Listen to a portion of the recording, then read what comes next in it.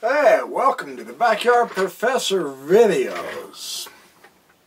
I have another really interesting subject that I'm going to give you the answer to right now up front.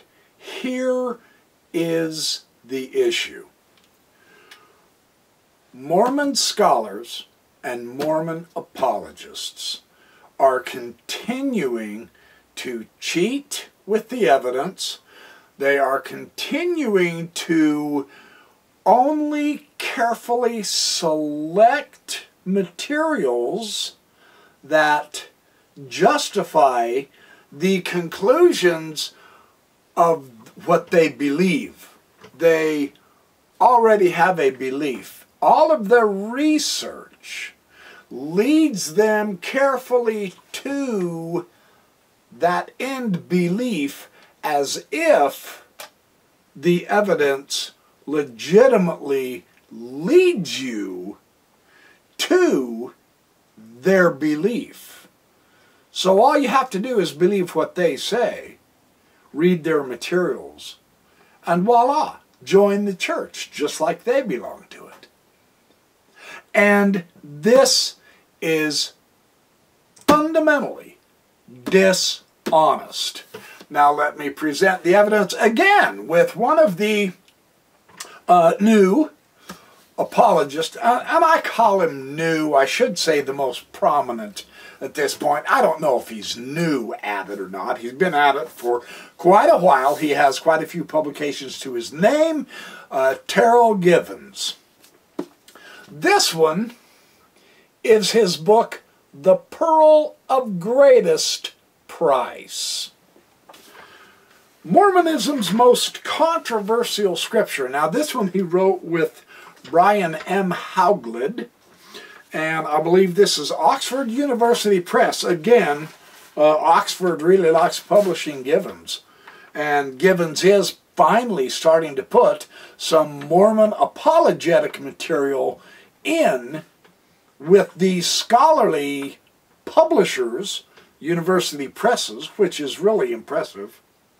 Uh, yeah, 2019. So we're not talking uh, 30, 40 year old stuff that's out of date. We're talking just recently.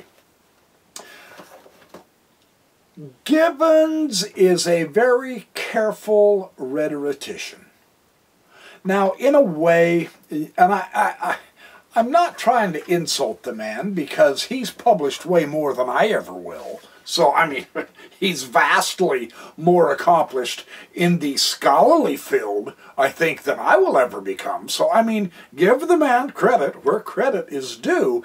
That still doesn't take away from the flaw of him being a careful, sneaky rhetorician, wherein he will he will give you some truth and he will give you some sources that are pro-Mormon, and then he'll bring in a few sources that are not pro-Mormon, that disagree with these guys, and yet in the long run, he still carefully selects his materials from both sides. Interestingly enough here, from both the Mormon apologists and the Mormon scholars, and from the Egyptologists, who are vehemently disagreeing with the Mormon scholars.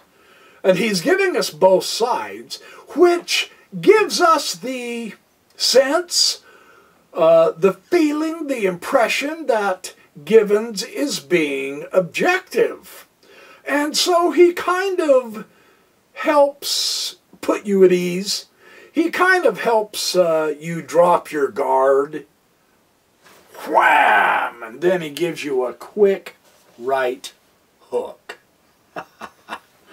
clever boy, but only half clever.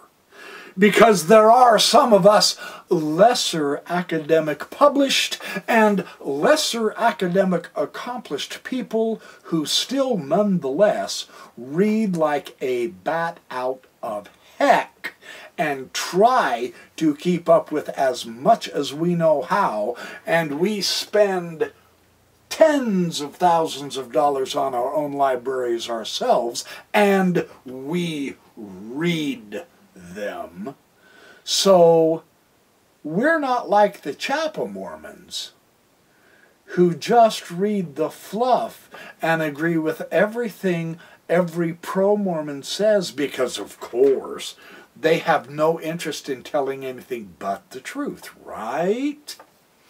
No, this is not chapel ex Mormonism either. This is not chapel non Mormonism either. This is let's get down, let's get serious, let's check sources, let's analyze the the manner in which the argument is put together and see where Terryl Givens is using the sources in less than a realistic manner than he ought to be. He's more honest. He's a little bit more open.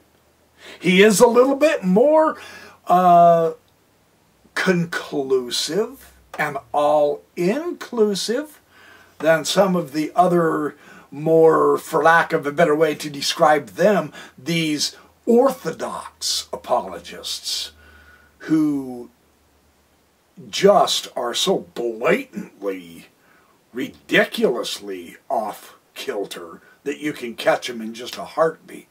Now, Givens is a bit more nuanced. He's a bit more uh, philosophically wise. He's a bit, oh, what do you say, historically informed. And yet, the conclusion I am unfortunately going to have to come to after I present you the evidence that I have gathered together on this particular discussion that Givens is giving is, unfortunately, Givens is still sneaking in faith promoting um, what scholarship, goodness, testimony, where honestly uh, a more complete look at the very sources he himself uses shows that there is no faithful conclusion to come to. So, all right, I've, I've gone around now for five minutes, but now you know what the video is about. Let me present you with the evidence in a very honestly open, clear-cut, boink, boink, boink, boink, piece by piece evidence and show you why, for me, now, and there may be some of you who read this book, and I would encourage you to read the book, really, truly and who will disagree with my assessment. That is perfectly fine. I don't care if you agree with me or not. I'm showing you why I just can't agree with Terryl Givens because the evidence doesn't quite give such an optimistic end that he arrives at. Givens in his chapter on the Book of Abraham on page, where am I? 153. I will just read this. This is actually a concluding paragraph in a conclu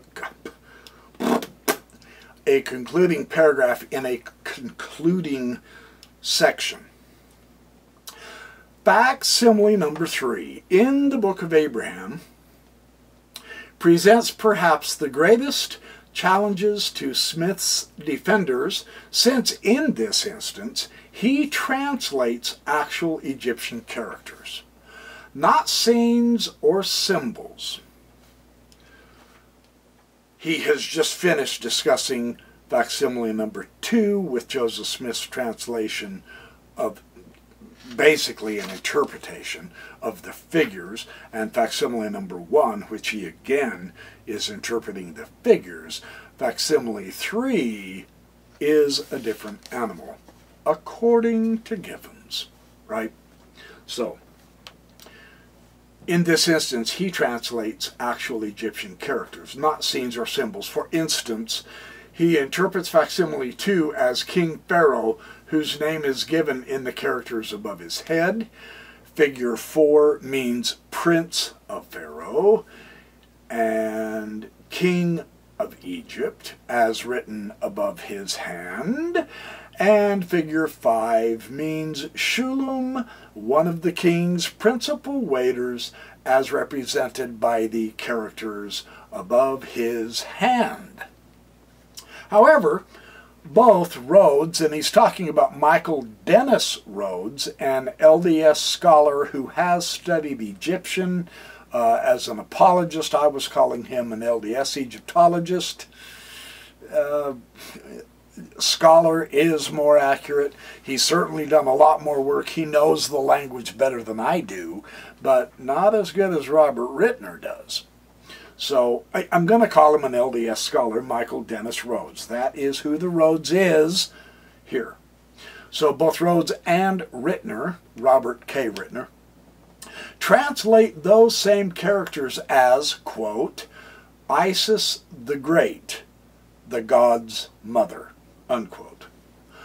The next figure is, quote, Mot, mistress of the gods, unquote. This is what the Egyptian hieroglyphs are actually saying, is what both Michael Dennis Rhodes and Robert Ritner are saying.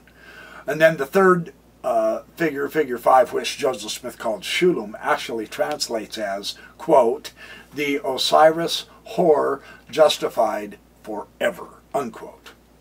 So if Smith was indeed in some oracular manner deciphering elements originating with Abraham in the papyri he possessed, the consensus is that his powers apparently failed him when it came to the actual translation of Egyptian hieroglyphics.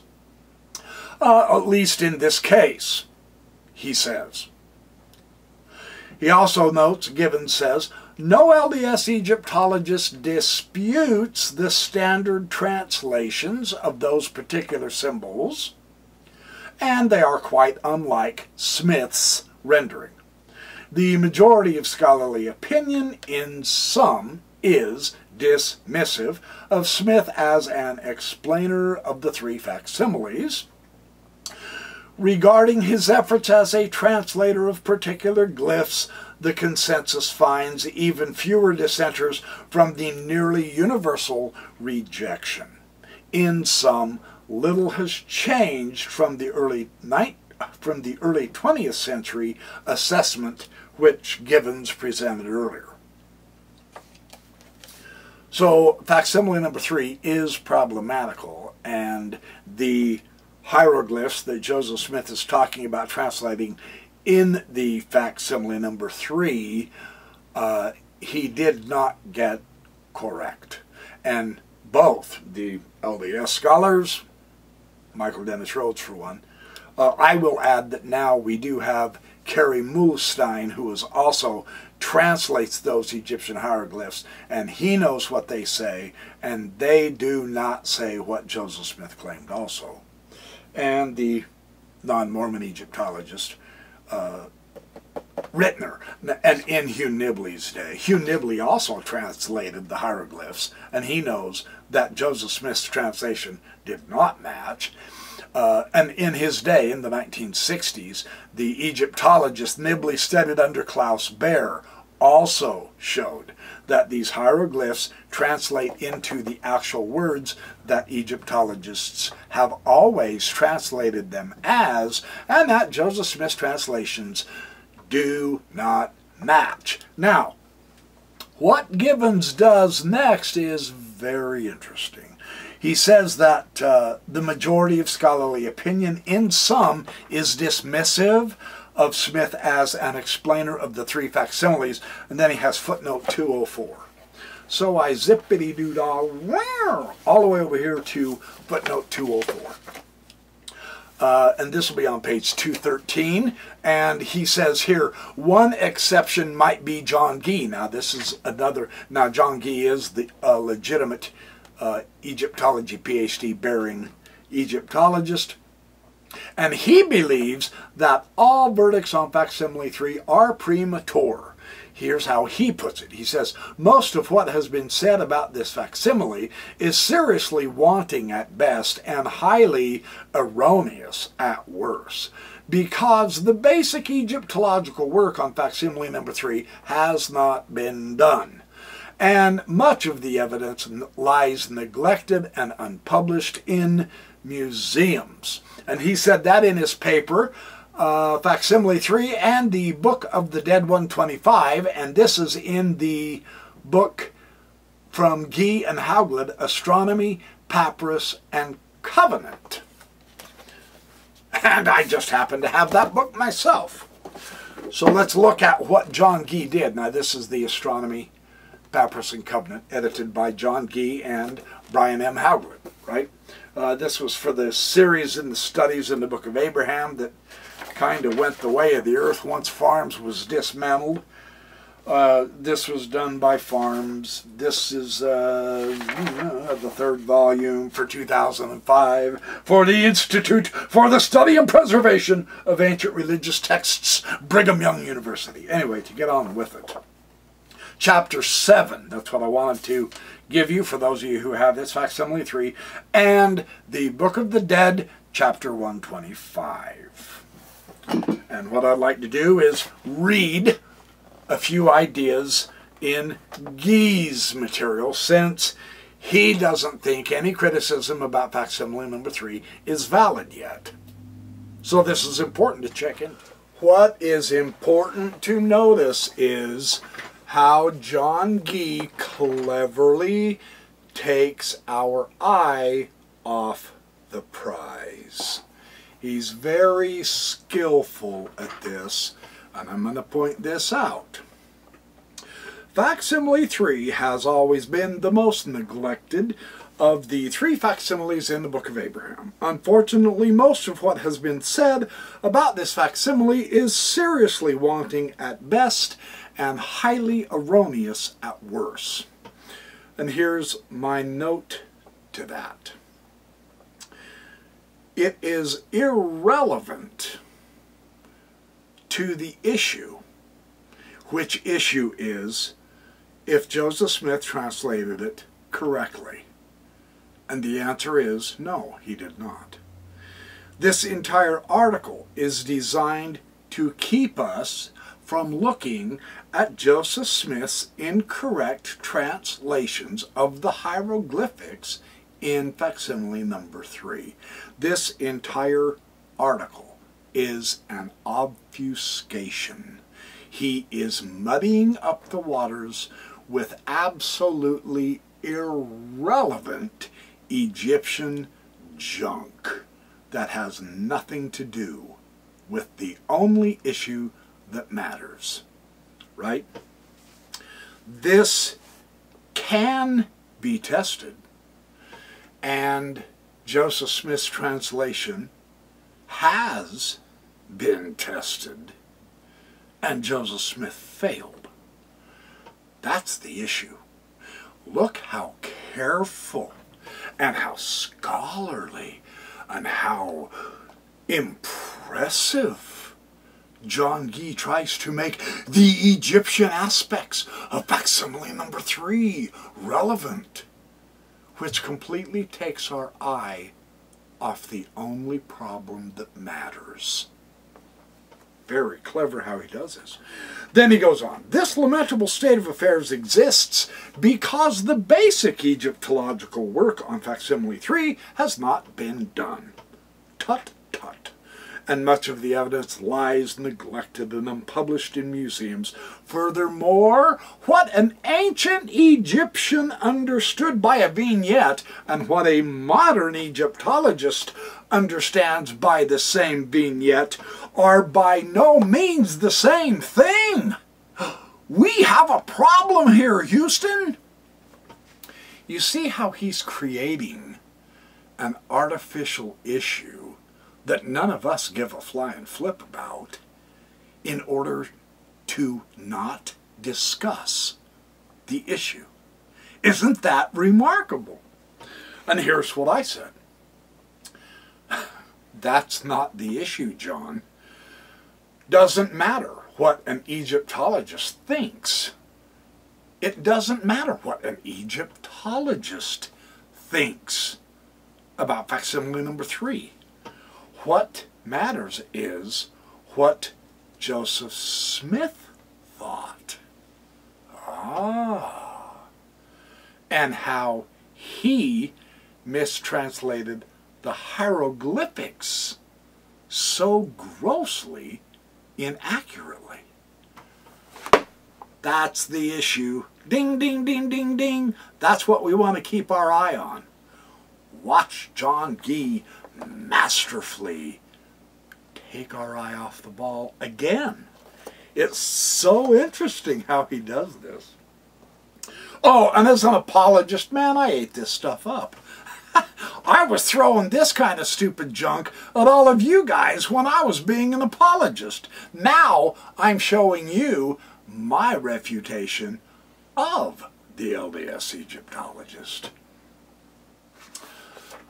He says, until we understand what the Egyptians understood by this scene, we have no hope of telling whether what Joseph Smith said about them matches what the Egyptians thought about them. And my note is that's just simply not true. We know Joseph Smith had no idea what the ancient Egyptian hieroglyphics meant. And then I say, see Robert Ritner's The Joseph Smith Papyri Complete Edition, pages 171 FF, which I happen to have. The Joseph Smith Papyri Complete Edition, and I will get to that in just a moment. Okay? So I'm cross-referencing to what source to go to next. I do this with all my books. It makes it much easier to find my materials. And then I do know all of this is taking our eye off the real issue. So now he goes to the dating of facsimile number three. See, all of these outside, extraneous, uh, superfluous, scholarly issues where he can bring in various Egyptological and historians and, and uh, Assyriologists and ancient religious priests and their sayings, whoever, so that he can put 50 to 60 to 70 footnotes to really make it look like, man, I know what I'm talking about. Check this out. This article has so many footnotes, and I'm referencing so many materials in, in French and German and English. And so you can't refute me. This is scholarship. This is the impression that John Gee wants to give us. And at this point, I'm not impressed. I'm really not. I mean, I will concede the point. Yes, John Gee knows more German and French and Egyptian material than I ever will. It has nothing to do with the issue. It's not about what John Gee knows and what he shows off about his knowledge. It's not a matter of what I know. It's not a matter of what you know. It's a matter of what did Joseph Smith translate? And is that translation correct? That's all we want to know. That's it. That's the prize. That's the prize. Okay? So here's John Gee. Facsimile 3 came from the middle of a long row belonging to a man by the name of Hor, who was the son of Osirus and Chibois. And he's got a footnote, and he's and he starts talking about the roll and the lengths and the different books and so on and so forth. Well, here, Robert Ritner and Cook and Smith completely destroy John Gee's argument. And I will get to that in just a minute. I want to just keep going through a little bit with John Gee here. Because at one time I was very impressed with John Gee. And now I recognize that his entire, and this is so sad, this is so unfortunate, his entire career. One, it's in complete shambles. He, he's been so refuted by absolutely everybody with every honky-donkey theory he's ever invented to try to save Joseph Smith with this Book of Abraham fiasco. Uh, I mean, I feel I feel sorry for the guy, but all of this, uh, all of this extra fluff doesn't impress me at all anymore. Everything he ever produced is doing this, right? But he got published. Yeah. So what? Listen to what he says here. This, this is incredible. Well, some have assumed that the, and I'm on page 96, some have assumed that the facsimiles of the Book of Abraham were drawn by Abraham himself, and I have written a large paper on that, and I will give you the reference to that. A very, very large paper. And it's not assuming. Joseph Smith absolutely said Joseph or uh, Abraham wrote those papyri himself. He claimed he had Abraham's actual autograph. He also said he had Moses's actual autograph. That's in the witnesses that talk about seeing the mummy and the papyri in Lucy Mack Smith's home when they were showing off the antiquities in the 1830s and 40s. That's not an assumption. John Gee is trying to soften the impact of what the witnesses themselves heard Joseph Smith tell them. Okay? So again, he's he's muddying the waters unnecessarily. Well, this assumption that the book of Abraham was drawn, the facsimiles were drawn by Abraham himself, this assumption is too simplistic for what we know of the tradition of manuscript illustrations. And he's talking about the Egyptian manuscript illustrations from antiquity and the Egyptologists describing where the illustrations fit with which Egyptian papyri. None of that is relevant to what Joseph Smith was telling the people in Kirtland in the 1830s, however. He was showing these signatures and drawings of the Book of Abraham in the Egyptian papyri, and that's how Joseph Smith was identifying it. So John Gee to bring in the controversy with different scholars saying, well, this vignette matches that text, but that one doesn't match this and all. None of that is relevant. John Gee is just simply trying to take our eye off of what Joseph Smith himself thought, taught, said, proclaimed, and translated. The question isn't about what the ancient Egyptians said.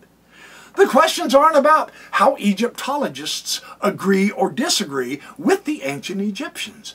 None of that means anything. We want to know about Joseph Smith, right? That's the thing.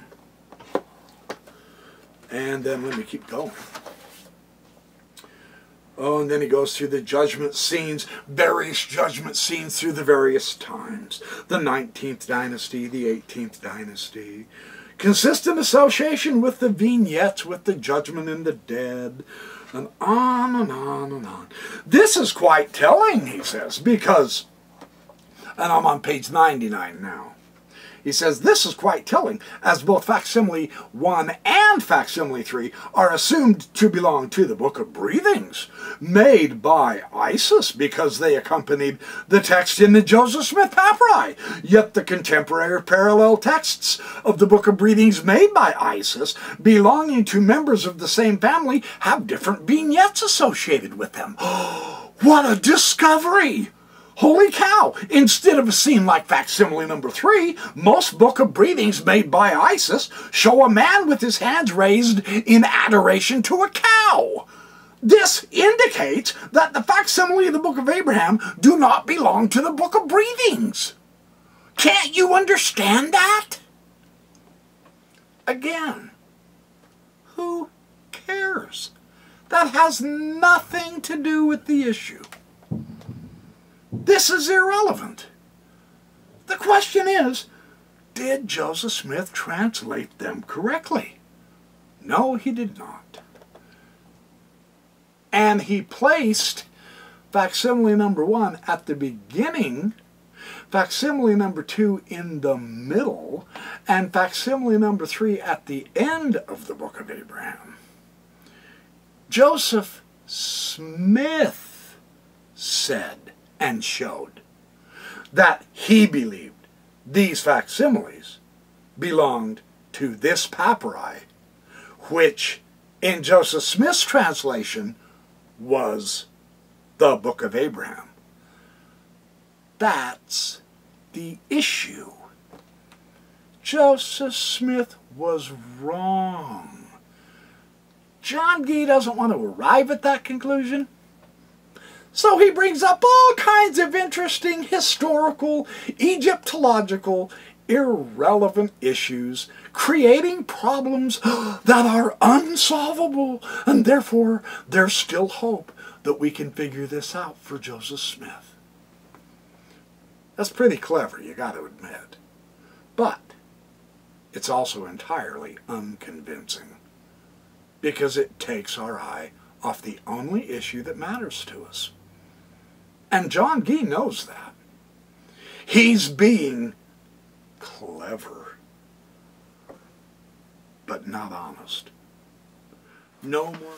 And finally, to bring an end to this scholarly, confusing, deliberate uh, problem making that Gee continues to do throughout pretty much his entire career, but especially in this article.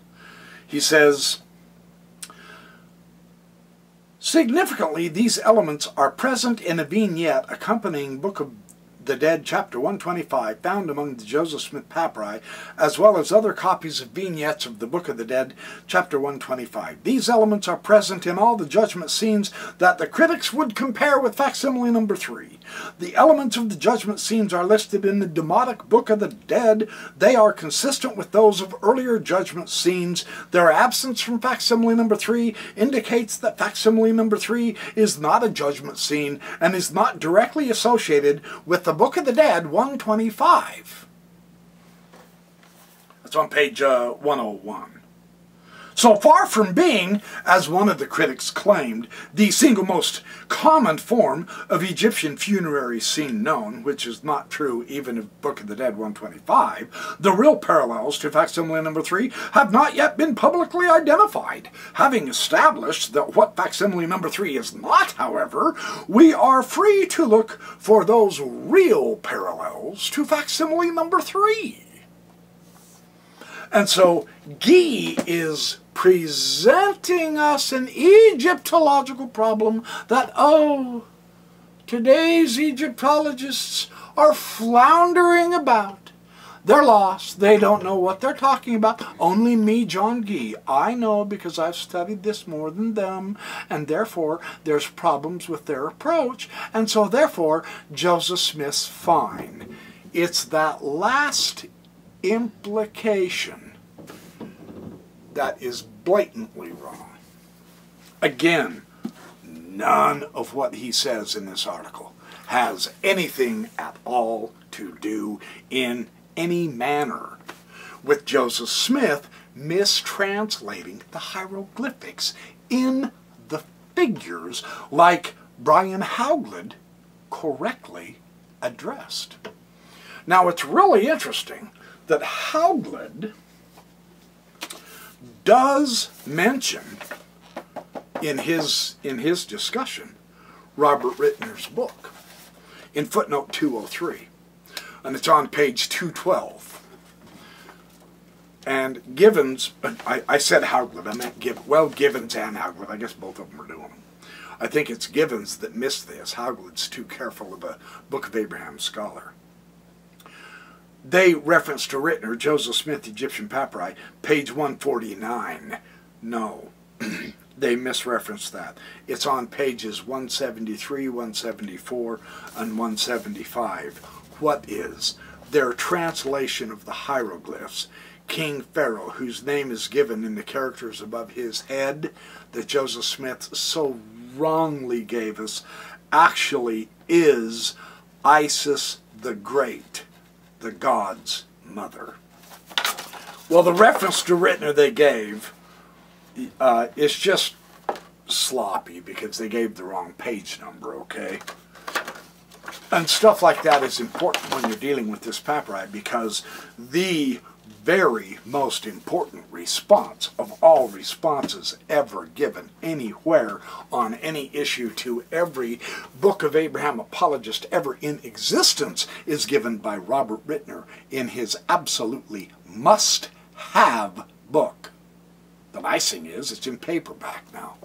I, if I remember right, the hardcover was 90 bucks. Some of you can afford that. I, I didn't, so I waited for the paperback. I think paperback was it was still 35 bucks, but well worth the money. Let me uh, let me show you. Ah, uh, ah, uh, that's what I was doing. Hang on. Back to Givens and Hauglid. After Givens explains that the problematic nature of the facsimile number three has really caused problems for uh, LDS scholars. Uh, chapel Mormons aren't interested enough to even worry about it. All they want to do is sit there and suck in everything they're told without actually thinking about it, what the brethren in Salt Lake City tell them. They're not going to read excellent scholarly books like this one of Givens and Hauglid.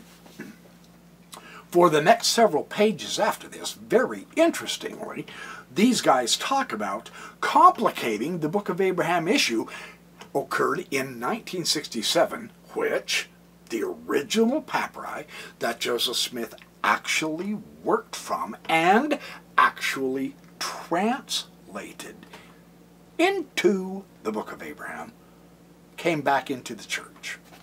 And they go on for page after page, and they describe the various issues, uh, the different theories of LDS scholars, Crapo and Tvedtnes, Nibley, Rhodes, Gee, all of these guys with all of the various issues of how come the translation doesn't match, you know. They're floundering in the dark. And then he talks about the Egypticity of the book of Abraham. And they talk about Nibley's materials and the old stuff from Harold Bloom and how Nibley pointed out the way to save the book of Abraham, which failed, and so on and so forth. Well, they go on and they go through over and over and over the Abraham Egyptian papers and the mechanics of translation, and so on and so forth. And they conclude that LDS scholars, there are still some LDS scholars who don't think that we yet have the papyri that Joseph Smith translated. And this is John Gee's really stupid and completely refuted ad hoc excuse for Joseph Smith uh, about a longer roll. And here is Robert Ritner's definitive put down destruction, as it were, of the LDS apologetic. That we still don't have the actual papyri that Joseph Smith translated the Book of Abraham from. That has been decidedly found to be false. Ritner says, with false restoration, now, on, and this is in his book, I'm on page 115, 116, and 117. And 118. and I'm going to skip and jump a little bit, I think. I might have to read this whole thing because it's so good. With the false restorations and interpretive distortions, Joseph Smith reworked vignette number one, this is the lion couch scene in the Book of Abraham, a facsimile from the Book of Abraham number one, the explicit statement that the facsimile is from the Book of Abraham refutes any reasonable, as opposed to apologetic, skepticism that Papyrus Joseph Smith number one was the source of the narrative entitled the Book of Abraham. Because Joseph Smith himself says this scene, the lion cow scene, is from the Book of Abraham. translated from the papyrus by Joseph Smith. In addition, the iconography of facsimile number one is repeatedly cited within the Book of Abraham narrative itself. That you may have a knowledge of this altar, I will refer you to the representation at the commencement of this record, that's Abraham 1.12, right? After introducing a series of idolatrous gods, Abraham 1.13, Abraham is made to say that you, you the reader, may have an understanding of these gods. I have given you the fashion of them in the figures at the beginning. I described them at the beginning, which manner of figures is called by the Chaldeans Rahleenos, which signifies hieroglyphics, Abraham 1.14. He's blowing smoke, but it sounded impressive. In these citations, now here's the understanding. Here's what you don't get from the apologists but you do get from the genuine Egyptologist. In these citations, the imagery on Papyrus Joseph Smith number one is said to stand just before, that is, at the commencement, the beginning of the text of Abraham. This is Joseph Smith's description of the papyri that he had. And he said, facsimile number one is at the beginning of this record. So that the adjacent book of Breathings of Hor was Joseph Smith's source.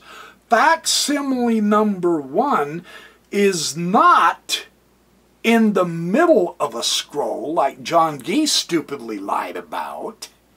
It's at the beginning and the papyrus of Hor is not a separate and now lost addition at the end of the scroll. It's also at the beginning. And facsimile number one was hooked to Papyrus Joseph Smith number one before it was either cut off or tore off. They've matched the fibers. So the text that Joseph Smith translated said, look at the beginning of it at the vignette. And that was facsimile number one. That's why we know we have the actual papyri Joseph Smith translated from. Because it's the one that was given back in 1967. It's also the one where he took bits of hieroglyphs, put them in a column, and then put verses of Abraham next to each one of those glyphs while he was translating them. Those are Papyrus Joseph Smith number one. That was next to facsimile number one, which was the illustration that Abraham was giving, according to Joseph Smith. That's why we know we have the actual original. It's not on a lost scroll. The papyri we have matches Joseph Smith's own description. That's critical. That's what Mormonism doesn't want you to know. Uh-uh-uh. No, sir. They will try to come up with every balderdash, raw, idiotic theory they can to distract us from the real issue. Yeah? Thank God for Egyptologists who keep us straight. Yeah. So, anyway, he goes on. Anyway, yeah, that that was the main issue I wanted to get out of uh, Robert Ritner on that. Uh, refuting John Gee, no question. I mean, Ritner's Ritner's material just destroys Rhodes, Nibley, Gee, Muhlestein. I mean, he's a one-man wrecking crew, man. He just wipes them out. It is astonishing how badly he destroys the LDS apologetics. But wait, there's more. Man, there is just so much to this subject. There is one more theme that I want to share with you, and then if you like this subject, I mean, it's been done like crazy. Uh, John Dehlin and, and uh, Radio Free Mormon have done a 13 hour interview, a series of videos with Robert Ritner himself, going through all the details. It's absolutely magnificent. I don't think they had access to this book, The Pearl of Greatest Price, so that's where the value of my particular video here comes in because I haven't seen anyone talk about this book yet. This is the newest 2019, just a couple years ago, the newest attempt to once again try to salvage something of the fiasco of the Book of Abraham, and it utterly fails. It just, they can't do it. And unfortunately, Givens ignores that part of Robert Ritner's response about the original papyri. Uh, all he talks about is the various LDS attempts to show that we don't have the original papyri. He wants to make it questionable that we actually have the original papyri. Robert Ritner absolutely fundamentally demonstrates without question that we do have the actual papyri Joseph Smith tried to translate. And I will say one more thing. My very good friend H. Michael Marquardt was asked also to contribute a historical chapter in Ritner's book. Ritner asked H. Michael Marquardt to contribute to this, which is a hell of an honor for Marquardt. And Marquardt just rose to the challenge. His, his chapter Joseph Smith's Egyptian Papers, A History, is absolutely sensational. You must get this book. If for nothing else, H. Michael Marquardt's analysis. Uh, Ritner's just decimated. There is one other thing I want to show you. On Shade's, Dr. Shade's message board, it's called discussmormonism.com. In the Celestial Forum, my friend who goes by the handle Shulem, yeah, Shulem, the waiter, in facsimile number three, has a series and the name of this particular thread that Shulem has made is King Pharaoh, whose name is given in the characters above his head. I would highly recommend you come onto the message board, discussmormonism.com, and come and look that up. Now, we do have a lot of discussions in the terrestrial forum as well. In the celestial forum, we keep it uh, more gentlemanly and scholarly and technically that's not true because the terrestrial has some amazing scholarship by people who are critical thinkers, who analyze the Mormon claims, etc. Come and look this up. This is impressive. Here is what Shulem has said, and he's got several, several posts on this, giving all the history, the analysis, the Egyptological look at it, etc. It's really well done. The figure two person in facsimile number three is Isis. She is a goddess. She is immortal. She is a queen.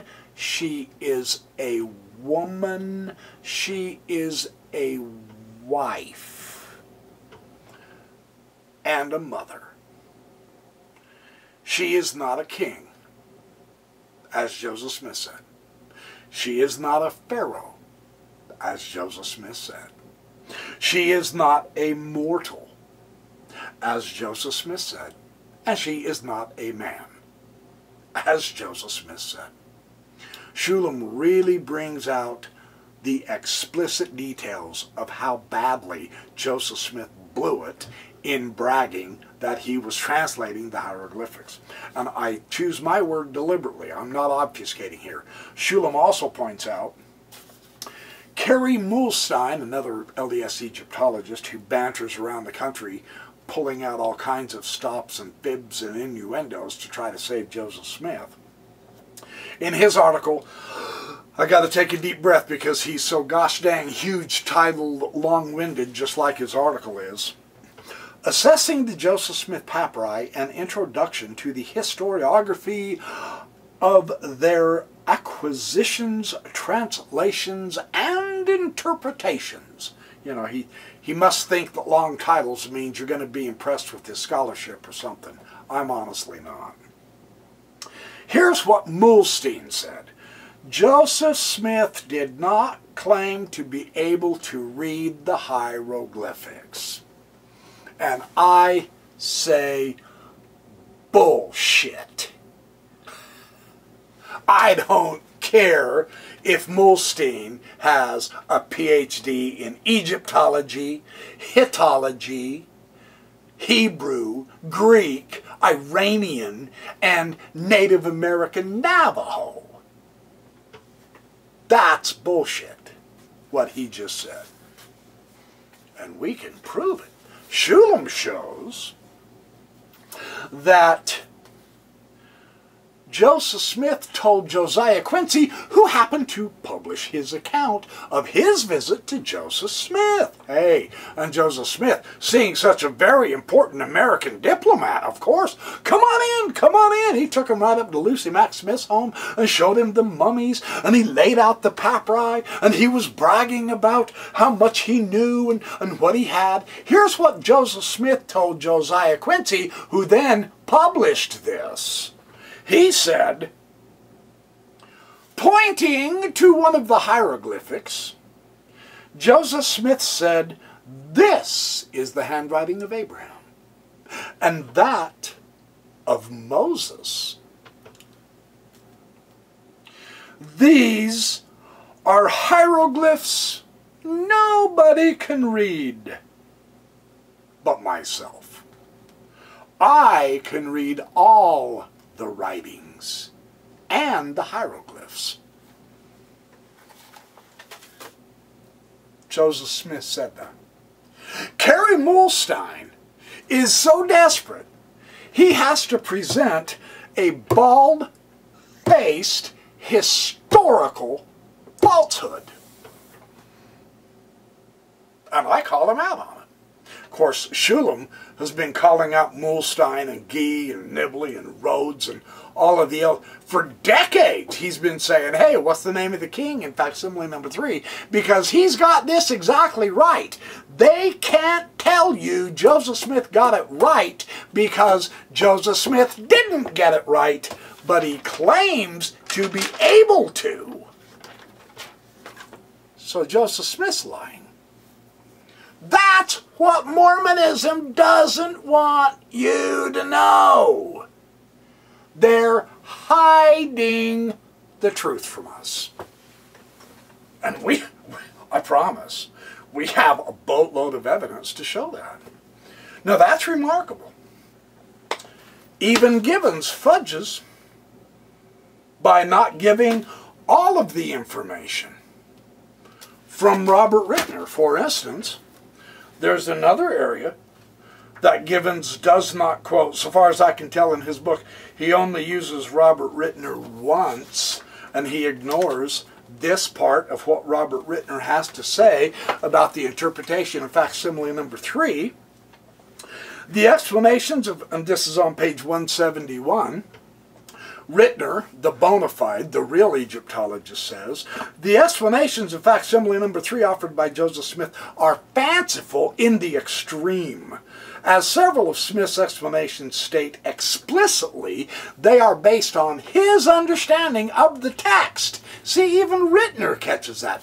Muhlestein has to outright lie and say Joseph Smith never claimed it, and yet Ritner has found that, yeah, he said it, of course given in the characters above his head. Of course he was reading the hieroglyphs. He defines it. He shows you where it's found, as written above the hand, or as represented by the characters above his hand. That's in the Joseph Smith explanations in facsimile number three. See, Kerry Muhlestein, he's not fooling anybody. He couldn't fool a sixth grader. All the sixth grader has to do is look at the facsimile number three. And you can see Joseph Smith is pretending to translate the hieroglyphs, right? But it takes an adult who wants to strengthen testimony in order to have to lie in order to get you to believe in Joseph Smith. And I find that so astonishingly odd. Because doesn't matter if it's the book of Abraham, it doesn't matter if it's about polygamy, it doesn't matter if it's about the celestial kingdom, it doesn't matter if it's about the Book of Mormon, it doesn't matter what it's about. They're constantly having to fudge the historical record, to manipulate the historical record. They have to either lie and leave something out, or they have to lie and add something in. Some truths are not very useful. I don't trust the historians, according to Boyd K. Packer. No doubt you don't trust the historians because you're fudging it in order to validate Joseph Smith. You can't just let the simple truth validate Mormonism. You have to manipulate it. And it almost doesn't matter what subject. For me, I find that peculiarly odd. Don't you? I mean, for real. No other religion has to do this that I'm aware of. Yeah, except the Catholics. Yeah, well, the Baptists. All right, the, the Lutherans, the Jews, the Episcopalians, the Jehovah's Witnesses, you know, the Presbyterians. You get the point. Yeah, right?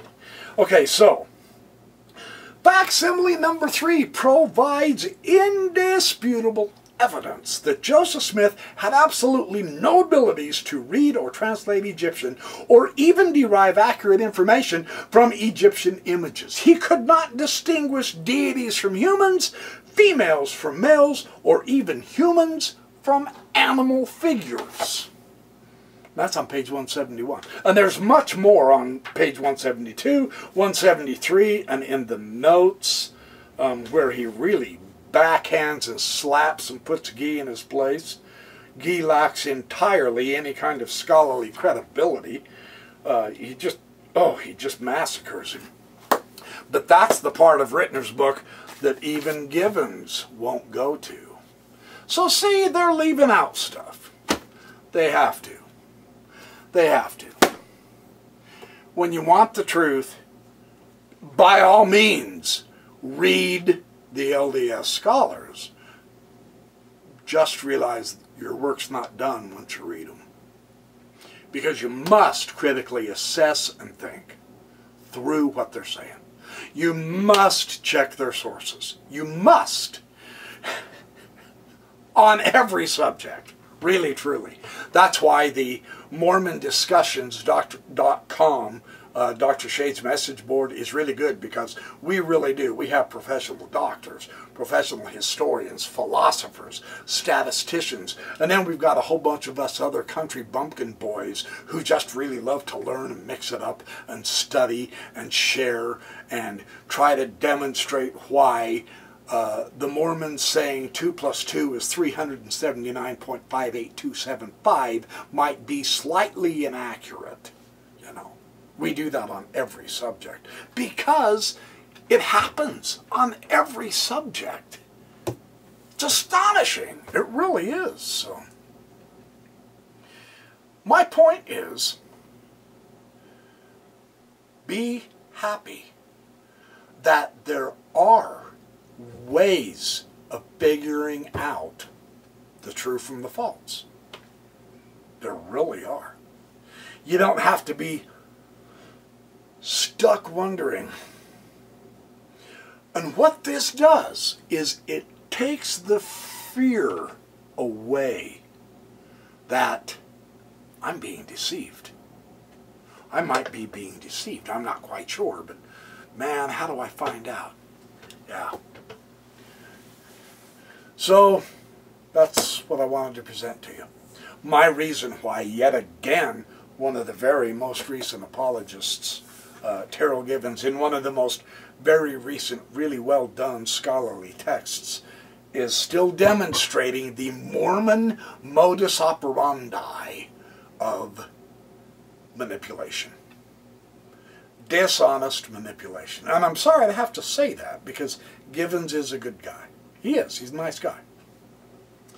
But that doesn't justify him always trying to manipulate the evidence in his favor so deliberately, and he knows better.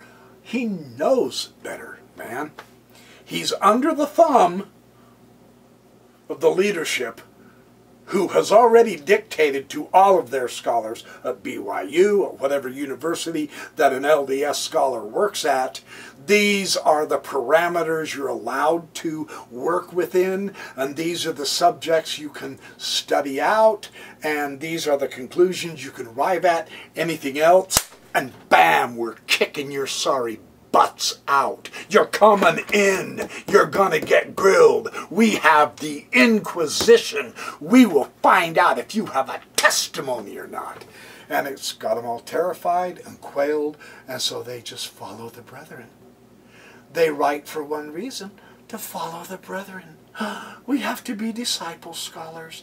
We have to follow the brethren. And we have to agree with the brethren. That's what FAIRMormon became. That's why their material is so stupid and crappy now. It wasn't that way when I started it, but they wanted to please the brethren. I mean, Scott Gordon told me that flat out. He said, oh yeah, if the brethren say pull the plug, we're quitting. I said, over my dead body? And he said, well, we can kick you out too if you want. And I started the organization. I wanted it to be independent of Salt Lake City because I knew they were going to put the pressure on to conform. Not think, conform. And I can't stand that. I want to let the evidence lead to where the truth is. Mormon apologetics doesn't do that. Mormon brethren don't do that. And chapel Mormons don't know that. That's what Mormonism's hiding from us. So, anyway, that's enough. I'm preaching. You guys be good, do well, have fun, be happy. Love one another. I know that, that that's a hard one, you know. It is. I, I'm not going to lie to you. But that's critical too. Be friends. Be kind. It's fun. Be kind. You know, help out a brother a little. Yes, the dirty, filthy, stinking, jobless bum out there on the corner is probably a damn leftist liberal Democrat. So let him rot. Uh, you Mormons who think that, you ain't even going to get to the telestial. And you think I'm kidding? Maybe you better get off your dead asses and reread your own scriptures. Start with Jesus, would you? Just an idea, you know. Anyway, I love y'all. I appreciate you as my audience. I will be back with more good information. And in the meantime, thanks for watching the Backyard Professor videos.